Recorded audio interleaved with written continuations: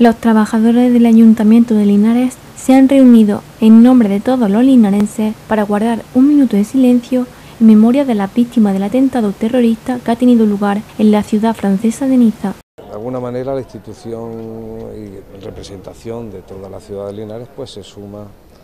a ese pésame colectivo, a ese actos de solidaridad que hacemos eh,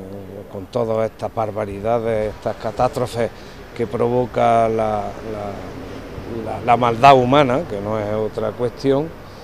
y que son absolutamente locuras que se han globalizado de, tal manera, ya no solamente se ha globalizado la economía en, el planeta, sino también los actos de terrorismo y que tenemos que combatir todos y mantener una posición y una actitud eh, de consenso y de unión de una sociedad que no quiere esta barbarie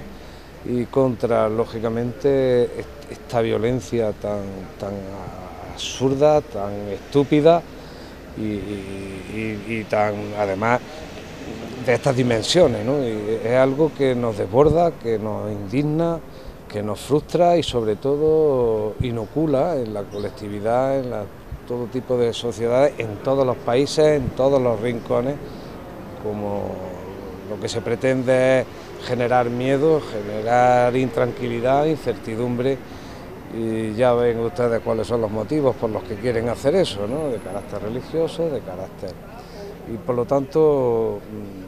tenemos que manifestar nuestro unánime, nuestro unánime repulsa y nuestro máximo rechazo a esas barbaridades que nos dejan totalmente estupefactos y que, que nos hacen cuestionarnos pues, cosas que, van más allá de, lo cotidiano.